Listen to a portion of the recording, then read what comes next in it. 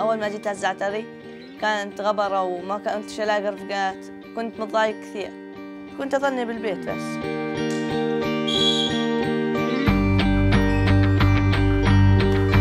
المصارعة بصراحة أعطتني أصدقاء جداد.